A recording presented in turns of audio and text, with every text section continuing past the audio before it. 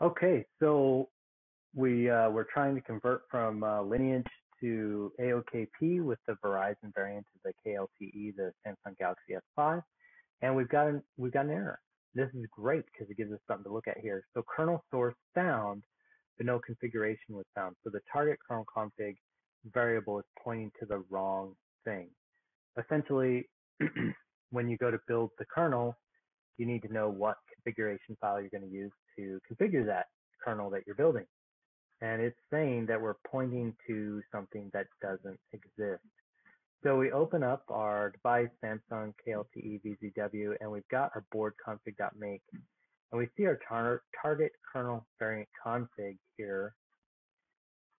And uh, and it's saying that we need to add it to our um, board config.make file. Now it's saying that because the one that's there isn't working. So we need to, uh, to fix that problem. Now, notice that when you have a phone that has a, uh, a variant and then a common folder, you have to check the board config.make and the board config common.make because uh, sometimes there may be a, uh, a clash in there.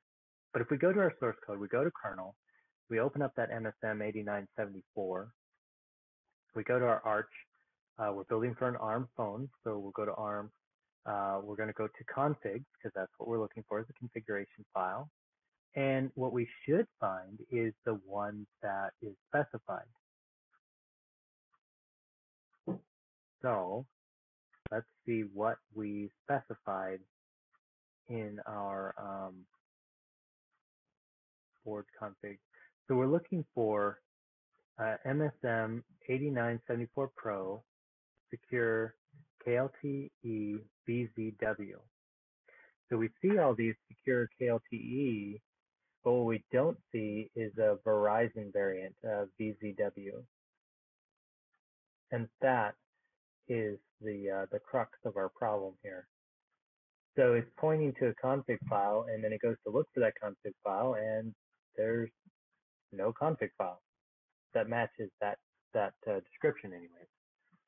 So we have some choices. Uh, when you're doing something like this, you could open up like the default config here, and we could take, um, you know, just one, like the default config. We could pick uh, one of the other variants and use that as our um, as our uh, kernel configuration. Uh, like here we have the European uh, default config. We could try that. We could just do the standard default config. Uh, so we have some options of, of what would be the best thing to do. Um, I think in this case, um, what we should probably look at is since for uh, for this device, we've built, or for this ROM rather, we've built uh, the KLTE, the generic one. That might be the best route to go. It would be to find that that configuration file. So let's take a look here.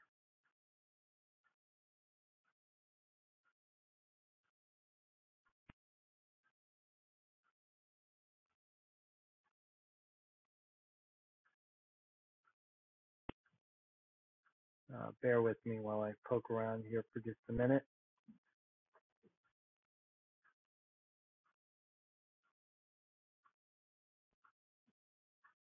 So if we look at the KLTE, the generic version, and we see theirs, it's building this, this lineage KLTE PN547 def config, default config. So that's what we should probably put into ours since that default config works for all KLTE phones or all Samsung Galaxy S5,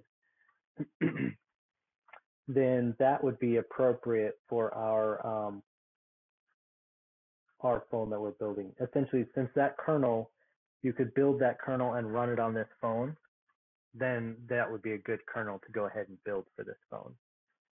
Uh, again, kind of experience, kind of trial and error that, that fits into here, but uh, but you'll have to experiment a little bit, especially when you're moving from one ROM to another.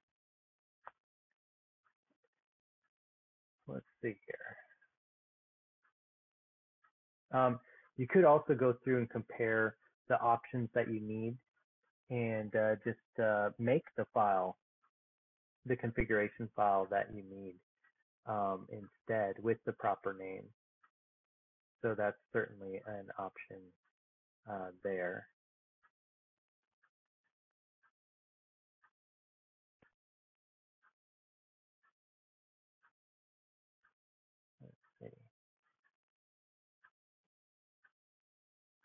Um,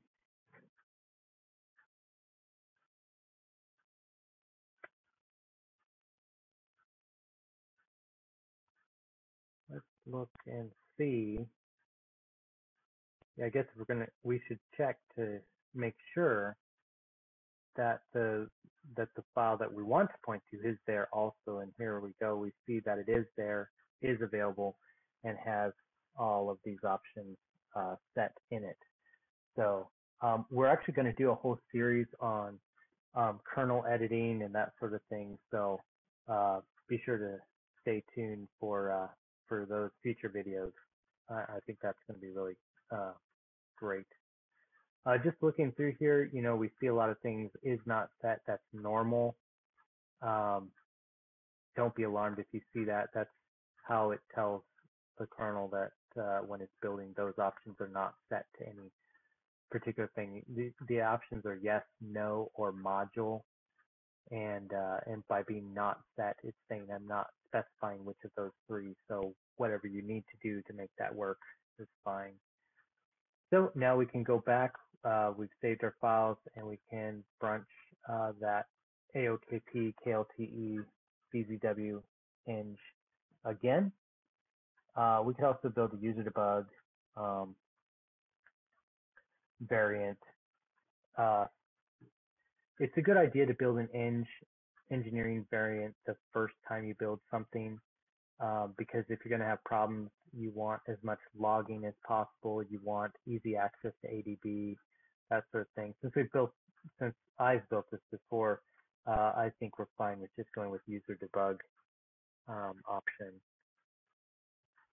So uh, we start our build again, and we'll see if it uh, starts building or if it uh, crashes on on that again.